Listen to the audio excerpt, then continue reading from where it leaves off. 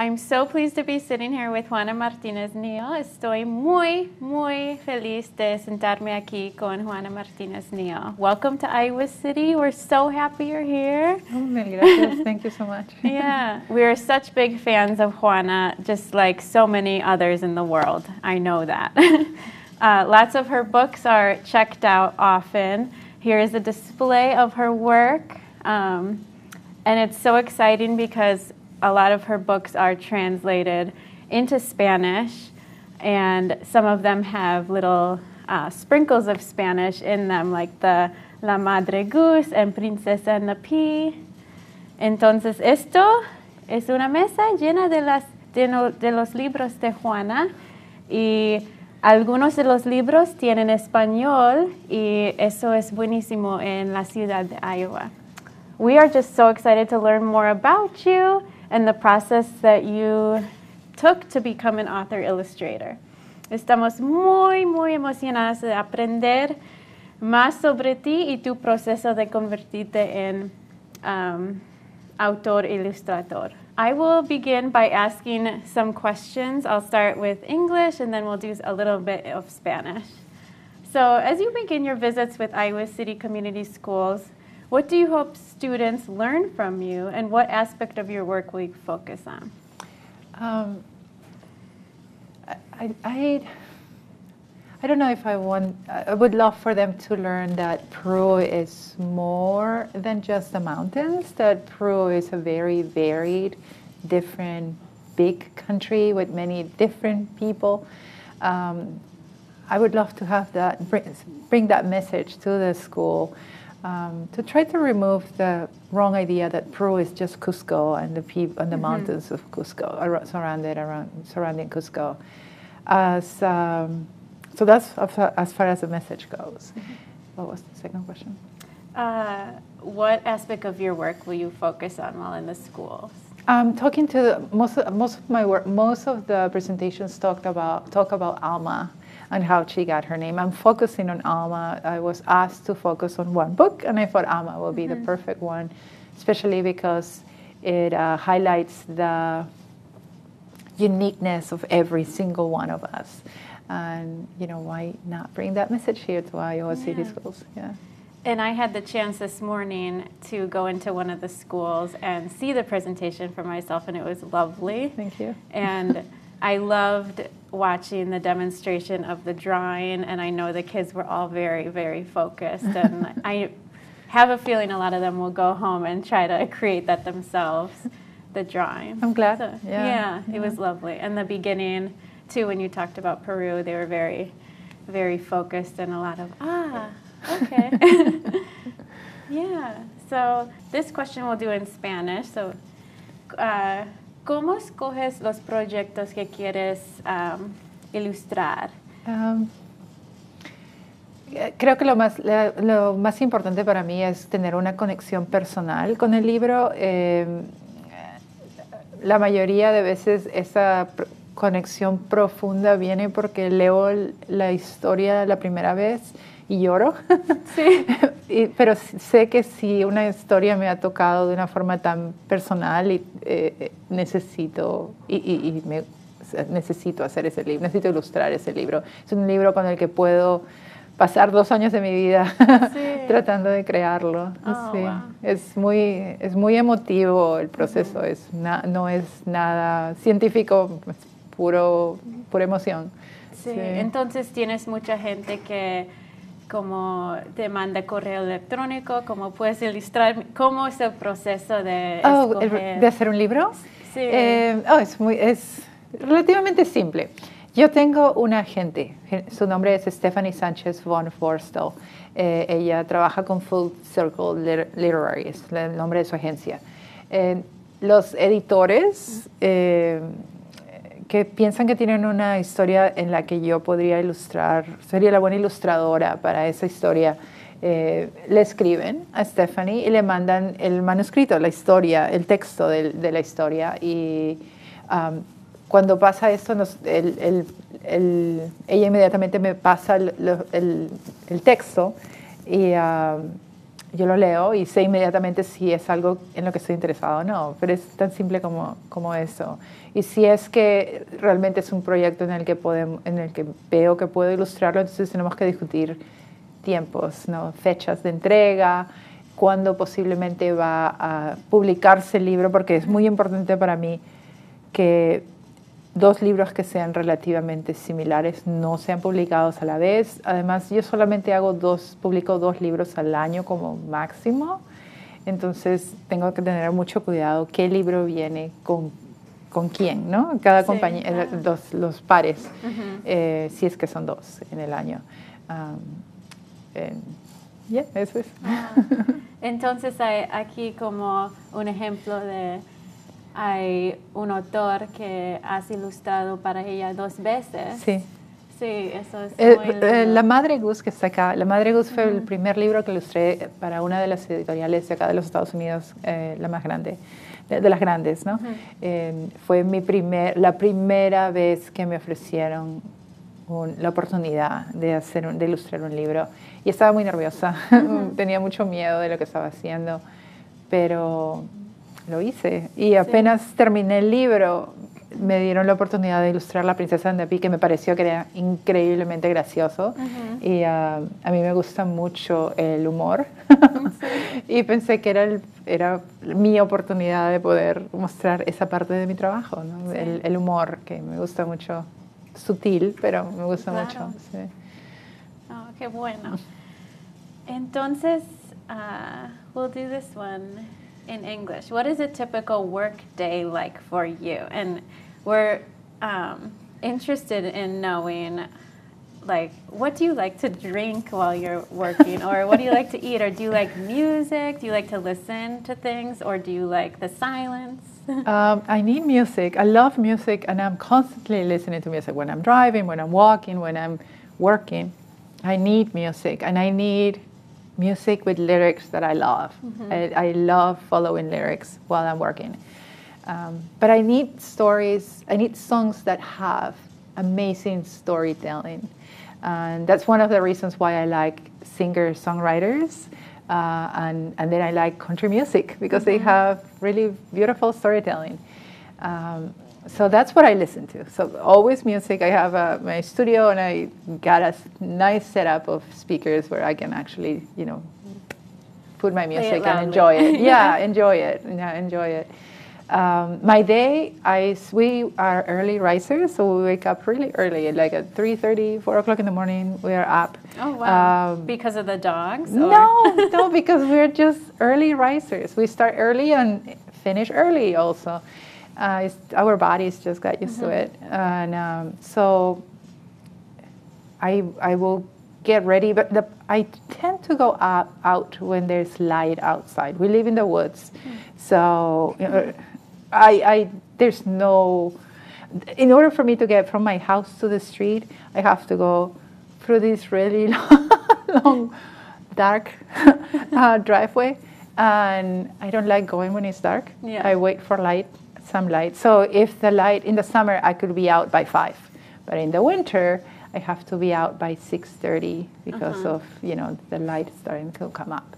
So I go for a walk. I walk for about an hour every day, uh, then come home, get the children off to the different schools, and then um, luckily we have buses, so mm-hmm. they we just you know we don't know we don't have to drive them anywhere really, and then um, I start. I have breakfast and I get started. And I work until 12 uh, when I take a one hour break for lunch. And then from, 12, from 1 to 5, I'm working again. And then okay. at 5, I close shop. And then my day is done as far as work goes and then I spend some time with my husband and children, and then by 7:30 I'm done in bed and already sleeping. Yeah. yeah. so I start early. Yeah, yeah, I start early. That's nice. Yeah, but that's my regular day. I uh-huh. only work Monday, first Friday though. Okay, I was gonna uh, ask if you work. Yeah, I I need. I have learned that I need a break. Mm-hmm. I really need to take a break from everything and just enjoy a day mm-hmm. without, you know, being at the studio. And that just helps my work because then mm-hmm. Monday I'm energetic Excited again. Yeah, yeah, to get back to it. Yeah. yeah. So yeah, that's that's That that's sounds like a good routine. Yeah. and- yeah. Oh, that's great. Ah, esta pregunta. ah, hay libros aquí que escribiste y también hiciste la- ah, las ilustraciones. Entonces, estoy como curiosa, ¿cuál prefieres? ¿Qué? ¿Prefieres ah, escribir y también hacer las ilustraciones como Alma y Sonia. ah, Sonia? ¿O solo hacer las ilustraciones? Son dos procesos mentales completamente diferentes. Cuando es un libro que hago eh, author illustrator, autora e, e ilustradora, es un proceso completamente diferente en- y en el que tiendo a perderme porque tengo muchas opciones. El- en- lo encuentro, encuentro enfocarme en una cosa es muy difícil para mí. Entonces, estoy dibujando y de repente cualquier cosa que cambie en el dibujo puede cambiar por completo la historia en sí. En- eh, y eso tiende a distraerme. Entonces, los el proceso de autora e ilustradora es mucho más largo. Lo disfruto mucho, pero es diferente. En el, cuando hago un, un un libro que es solamente ilustración, es completamente directo. Es, sé exactamente quiénes son los, los personajes, sé qué colores voy a usar, qué, qué, van a- qué va a pasar en cada página. Es, es muy rápido en comparación al de autora e ilustradora. Sí. Sí. Ah, Ok. Oh. Y eh, voy a preguntar sobre el estilo, pero me encanta como los libros son tan diferentes, pero tienen como un estilo muy similar. Ajá. me encanta eso. Me alegro, me alegro. Sí. Eh, esa es la próxima pregunta. Can you tell us more about your style development? Um, and I- I, I had the chance to see the process today Yeah. at the school, and it was just so interesting. Yeah, I, um, I, I do think that I don't know if we have a. I don't know. I don't. I, I, I wish I. People say that they see my work and they recognize it, and you will call that style, right? Um, I just do what I feel needs to be done. Uh, I like texture, and I apply it in most of my work. I like patterns. I like uh, I like muted muted colors with like accents in like here and there. So that's something that is consistent throughout my work. So if you can call that style, then that's my style. Um, I like composition makes uh, to me is very important how you lay out the space within a page and how the spa- the I, the different elements within the space will move your eye from one place to the other either in circles or left or right or whichever way you need to. Um, so but developing I, I think you you have to draw things many, many, many, many, many times in order to find your own personal way of hmm. drawing things. And that is a process of just working um, mm-hmm. and many mistakes.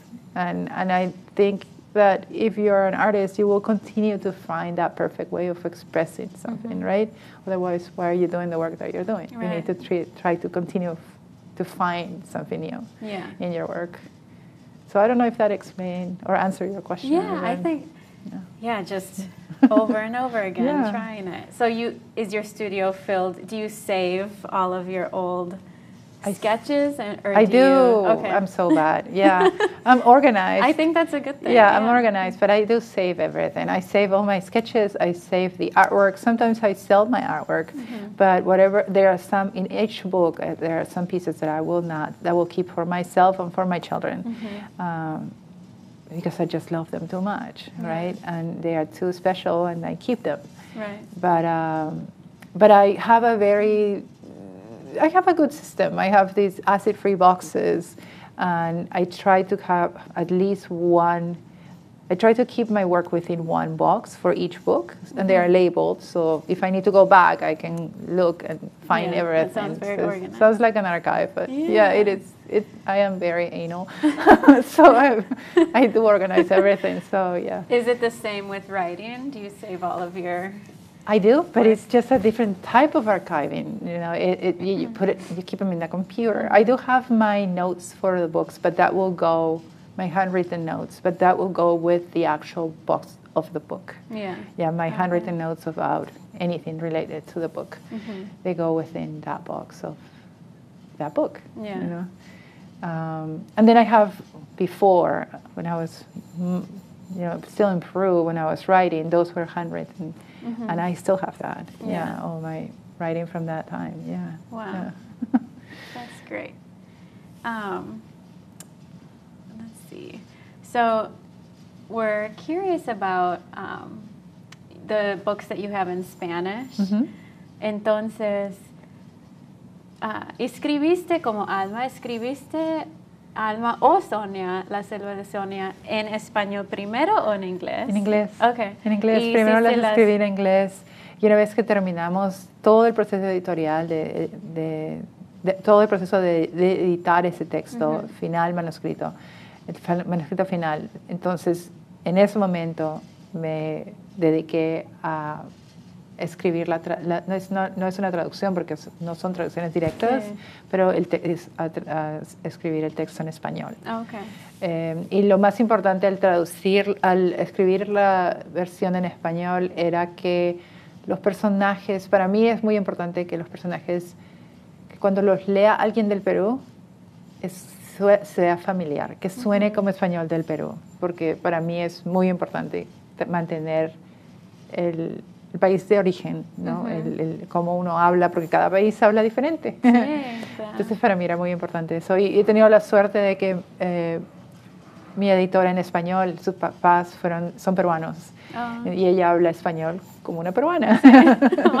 Entonces has- he tenido mucha suerte. Sí, Sí. sí. Sí, qué bueno. Entonces, el libro de Alma y cómo Obtuvo obtuvo su nombre. nombre, alguien lo tiene en casa y Sí. eso es buenísimo porque sí, están sacando los libros en los dos idiomas. Claro. Um, entonces, este libro, I Don't Care, Yes. uh, by Julie Fogliano, um, and you illustrated it with, Molly Idle. yeah. Yeah. Can you tell us more about it? We, yes, we started peeking through, but yeah, yeah, I love this book.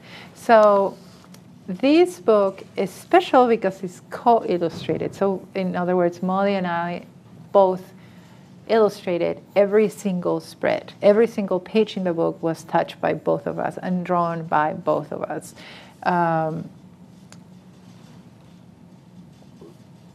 we have been trying to find out if apparently this i don't think there are that many books that have been done like that most pe- books that have been co-illustrated the illustrators molly and i were talking to about these and then we were talking to the people at holiday house too about these most people most books that are co-illustrated the illustrators are related by marriage or blood so they were brothers like the humphrey bro- um, uh, brothers or like they were married like sean qualls and his wife yeah. um, but not quite just being two people like us that were just best friends. Mm-hmm. Um, the book was actually going to be done by Molly. Molly was offered to illustrate the book, and she said yes because we both love Julie Fogliano's words. yeah.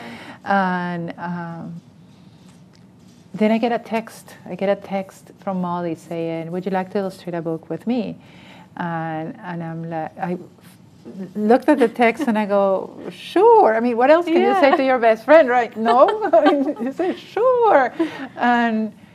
And, and she goes, oh, great, because I already told them. And she had already emailed the Yeah. other, like her agent and her uh, and um, Neal Porter, the Uh-huh. editor, had already emailed about Wow. these. So he already offered Well, me. Well, she knows you well. Yeah, he already offered me. Aw. And within a half an hour, we heard yes, and it was like everything just went like this. Yeah. And but at that time, we both lived in Phoenix. Mhm. Um, so it should have been an easy thing when you're 25 minutes away, but mm-hmm. then COVID happened, mm. and my family, we moved to Connecticut mm-hmm. on the other side of the country.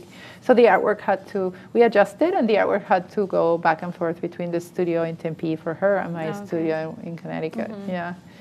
So, and, and there's a book. It's coming Yeah. out November 22nd. Yeah, Okay. yeah, we are very, very excited about it. Yeah.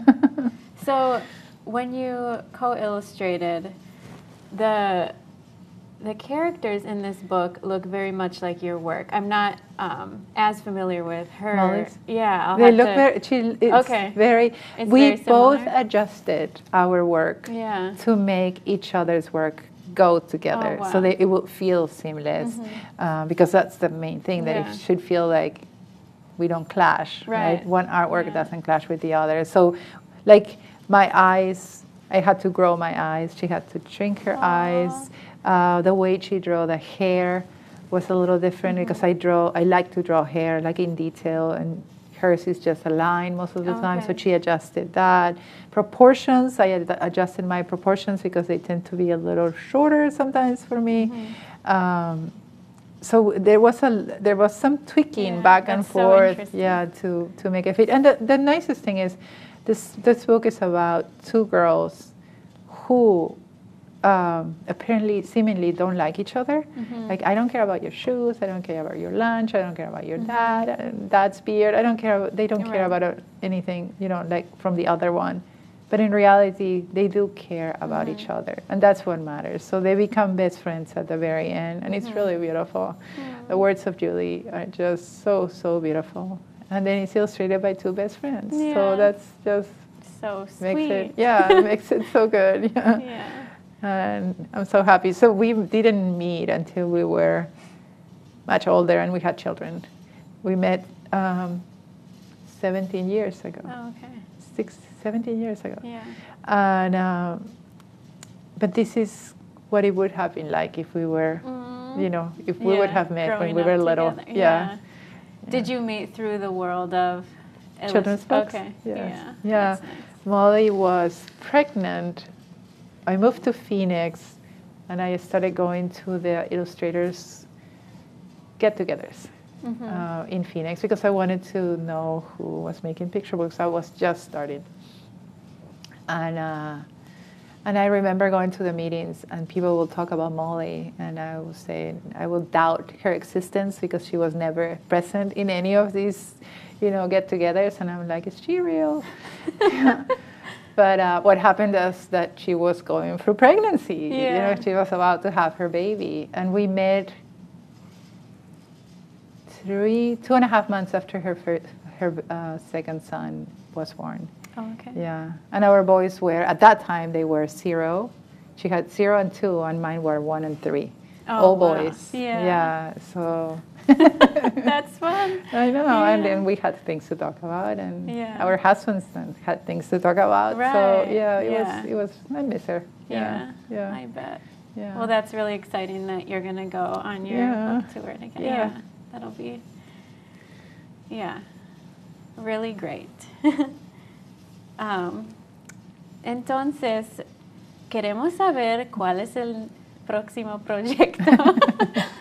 Bueno. ¿Estás trabajando en algo ahora? Sí, Ok. siempre. Siempre.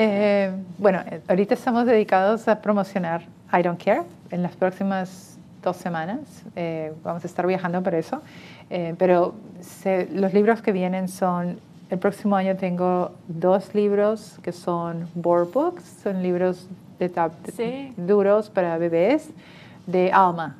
So I have two, eh, dos eh, Alma, dos board books de Ajá. Alma. Board books. ¿Cómo se dice board Sí, por, por- de cartón. o- De cartón, sí, los, los sí. que, los que pueden comer. Sí, claro. Sí. Eh, es- esos vienen el próximo año. Estoy trabajando en un libro acerca de eh, Luis Salas, Alberto Salas, perdón, Alberto Salas, que es eh, y un hombre que va buscando diferentes papas, papas en- en- a través de las montañas, diferentes sitios. Un libro muy interesante acerca de, de las papas en Perú. Eh, estoy trabajando en ese. Y tengo, esos son los que estoy trabajando inmediatamente en esos, pero vienen más. Ah, qué bueno. Claro que sí. Oh, qué placer poder hablar contigo. It was such a pleasure to talk to you, and My pleasure. we're so lucky that you're here in Iowa City. Oh, and thank I you hope for you having me. enjoy Yeah. the school visits, I'll and. I'm sure the kids will. It's been great, well, and the yeah. teachers and everyone on staff. So, uh-huh. muchísimas gracias y estamos muy emocionados ah, a leer esto. claro que sí. Gracias. Chao. Thank you. Gracias.